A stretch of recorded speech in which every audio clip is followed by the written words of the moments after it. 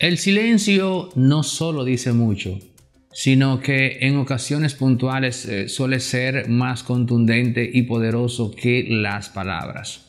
Por ejemplo, en el contexto en el cual República Dominicana, a través de su presidente, está tratando de hacer conciencia en la comunidad internacional de la auténtica situación por la que atraviesa Haití, que nadie nos la tiene que contar porque la tenemos justo al lado e incluso entre nosotros a través de los migrantes.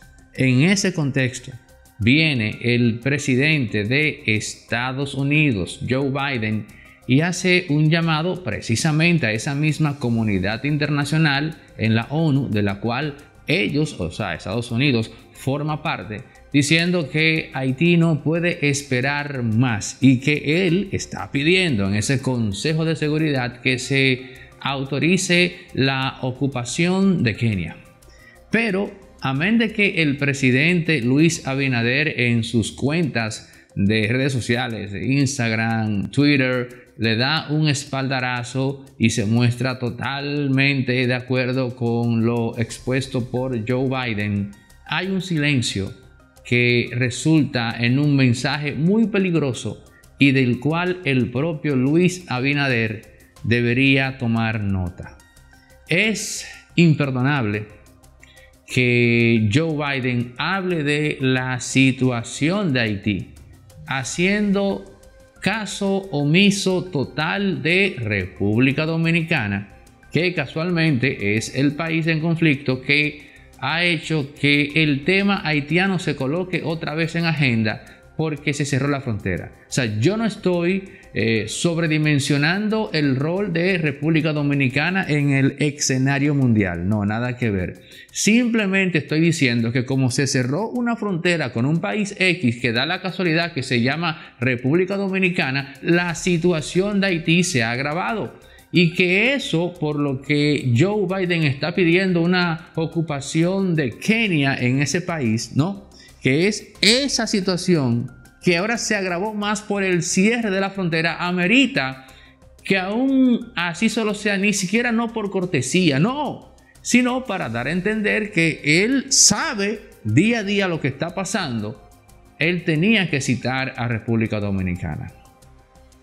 La omisión de República Dominicana, usted puede adjudicársela a muchas cosas, pero ninguna favorable para nosotros. Número uno, bien pudiera ser que para Joe Biden República Dominicana y Haití es lo mismo. Eso es sumamente peligroso.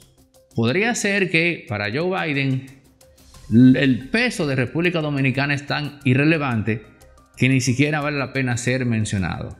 También es preocupante.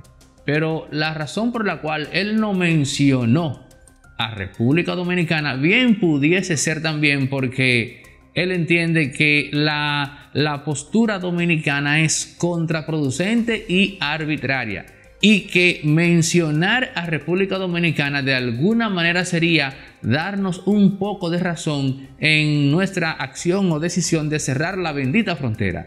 Esto también es preocupante. Como se deja ver, no existe una sola razón que pudiese ser tipificada de positiva en la omisión que hizo Joe Biden de República Dominicana. Estamos hablando de que este mensaje por omisión es un mensaje bastante peligroso y que trae intranquilidad e incertidumbre. Pero también la prueba ya inequívoca de algo, que no hay forma humana en la cual República Dominicana pueda salvar su relación diplomática, de poder, política e incluso humana con la administración Biden. Ese apoyo que le dio Luis Abinader a Donald Trump le está saliendo caro en términos políticos, pero, y esto no es por defender al presidente dominicano, Joe Biden debería ser un profesional de la política y no actuar tomando en cuenta que este presidente apoyó a Donald Trump sino actuar en consecuencia de los intereses legítimos de Estados Unidos, que no necesariamente son ponerse de un solo lado. Porque el país que más dinero le ha traído a Estados Unidos en su balanza de pago de cara al vecino se llama República Dominicana. Pero es evidente aquí que hay un lobby muy fuerte, no de los haitianos, como dije en un capítulo anterior, sino de amigos, amigos del demócrata Joe Biden. Por ahí es que va la cosa, señores. Pero yo no estaría para nada contento con esta petición que hace el presidente en la ONU, el presidente Joe Biden. No estaría contento porque veo, veo que este señor, o más bien para este señor, República Dominicana no existe. Y aquello que no existe en su mente, nada le cuesta que sea obliterado. Por eso mi, mi preocupación. La no existencia es igual a la aniquilación, porque luego de la aniquilación viene precisamente la no existencia. Entonces en la mente de una persona que opera eso, perfectamente se pueden dar todas las condiciones que obren en contra de nuestra permanencia en el mapa mundial. Ojo con ese silencio preocupante por parte de Joe Biden en la ONU. Nada que aplaudir, nada que darle un espaldarazo. Y con esto estoy ya fustigando incluso al propio presidente dominicano que debió tomar esa omisión de nuestro país por parte del presidente de Estados Unidos muy pero muy en cuenta.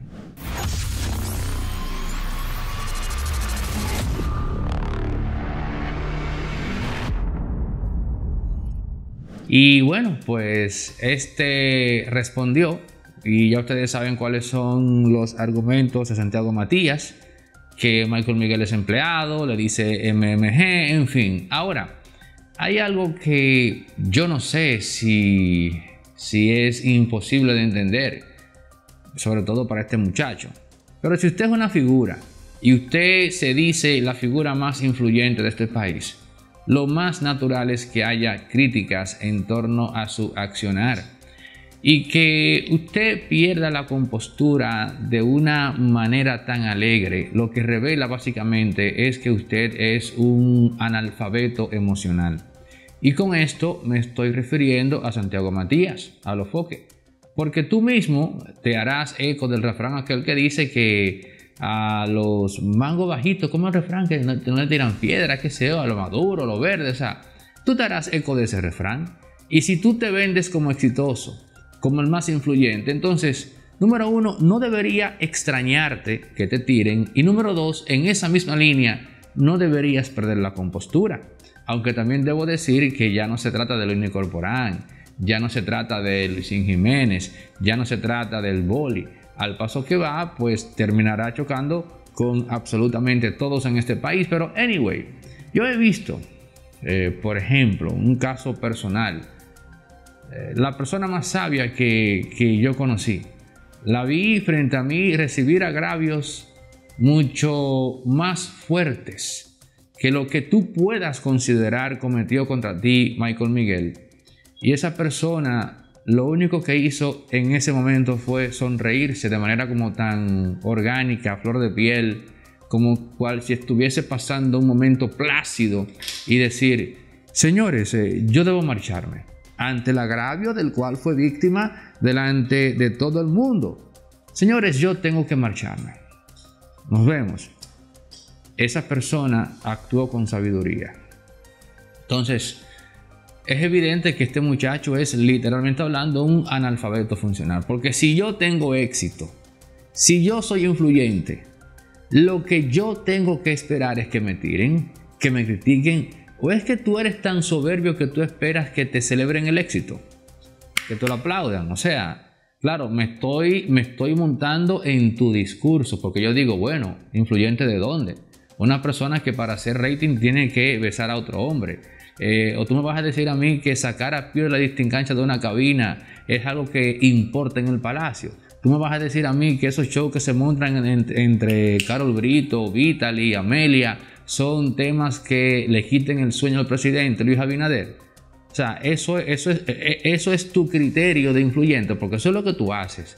Influyente es, por ejemplo, con lo que pasaba en la Z101 en su mejor momento, cuando estaba Julio Martínez Pozo, José La Luz, Gómez Casanova, eh, Merton Pineda y Alvarito, que cualquier cosa que se decía era preocupación en el palacio. Eso es ser influyente. tú estás a años luz distante de eso.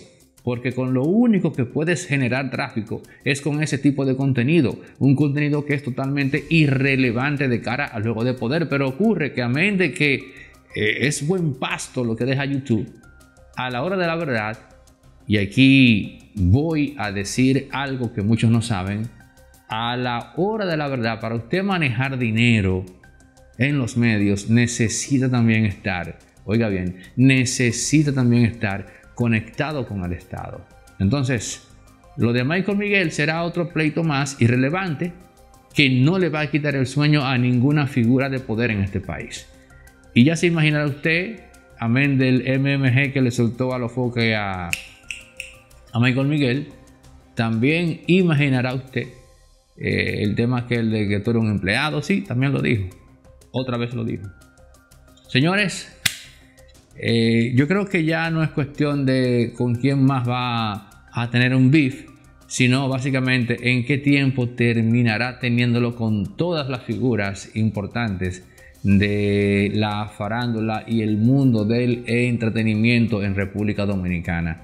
Porque sin lugar a duda esa es la meta de vida de Santiago Matías a los que eres influyente, eres exitoso. Tú mismo lo dices, bueno pues tienes que aguantar la crítica, tienes que aguantar los fuetazos porque es cierto el refrán aquel. Esos shows que tú montas lo que revelan es que eres un analfabeto emocional.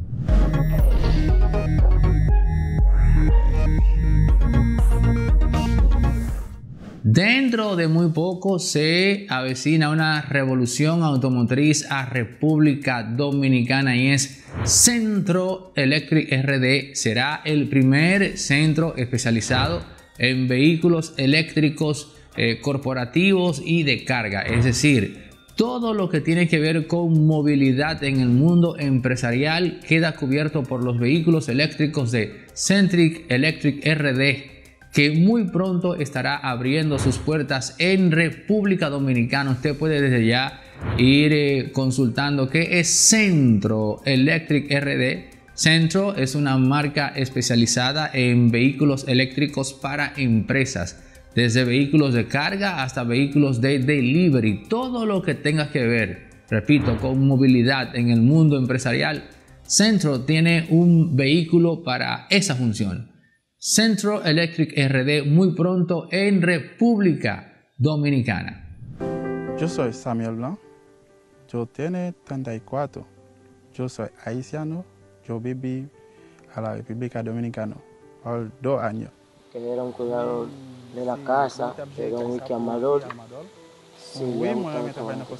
Que él siempre que se ha levantado, se ha cuidado de su familia, porque a veces hoy se levanta pensando en su familia que no están cerca, a su hija, que él tiene a su esposa. Siempre le ha gustado jugar en la garra 4 porque que a veces él saca, eh, le salen un premio, dos premios, tres premios. Su objetivo es eh, para hallar su dinero y ayudar a su familia. Yo saca un billón a Gala 4. Yo soy contento. Resorte Media ha ampliado sus instalaciones y ahora tenemos más espacios para hacer posible que tú grabes tus contenidos en un ambiente confortable exageradamente cómodo. Parqueo, tenemos todos los parqueos eh, necesarios para que tú y tu equipo vengan a grabar en nuestros estudios. En el 829-741-3061 puedes tener o conocer con lujo de detalle todo lo que tenemos para ti acá en Resorte Media para hacer que des ese paso audiovisual al más alto nivel. Estamos en una ubicación privilegiada en la, en la avenida Rómulo Betancourt, casi llegando a la Sarasota, en la César Augusto Roque con esquina 12 de julio, justo detrás de Burger King. La segunda calle detrás de Burger King, valga la cuña. Ahí están las nuevas instalaciones de Resorte Media, 750 metros a tu disposición con una gran variedad de de locaciones para tú hacer realidad tu sueño fílmico. Contáctanos en el 829-741-3061 y vamos allá. Los planes más competitivos en términos económicos del mercado para que grabes con calidad 1A.